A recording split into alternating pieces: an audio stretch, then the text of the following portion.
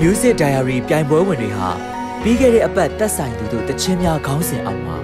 အကောင်းဆုံးစူးစမ်းရှင်ပြခဲ့ကြပါတယ်။ပရိသတ်များပေးတဲ့ vote တွေအပေါ်မူတည်ပြီးပြိုင်ပွဲဝင်နှစ်ဦးကတော့စိတ်မကောင်းစွာနဲ့နှုတ်ဆက်ထွက်ခွာသွားရမှာဖြစ်ပါတယ်။တီဆိုဟစ်ကျွေးအသေးဆွေးတီးအပတ်ကိုရောဘယ်သူတွေကတက်လန်းခွင့်ရမလဲဆိုတာကိုသိချင်ရင်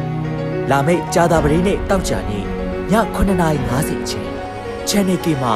စောင့်မျှော်အားပေးနိုင်ပါတယ်။